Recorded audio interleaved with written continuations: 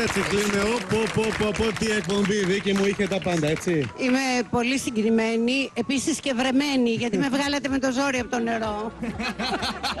Στάζω ολόκληρη, Μάρκο.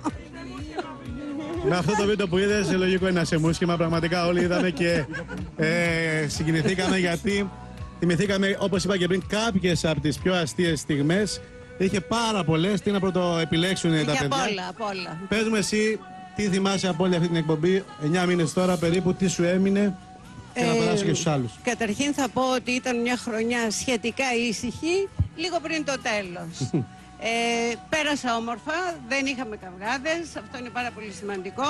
Είχαμε πολύ ανταγωνισμό. Τι να κάνουμε, δώσαμε τα πάντα και μόλις τώρα, πριν δύο μήνες, αρχίσαμε να έχουμε μεγάλη οικειότητα και να γνωριζόμαστε. Θα έπρεπε λοιπόν να συνεχίσουμε να μάθουμε ο ένας τον άλλον περισσότερο. Μάλιστα. Εσύ ξέρεις πιο πολλά από εμάς, οπότε δεν μπορούμε Δεν να πούμε ξέρω, τίποτα. λέω κι εγώ. Έλενα,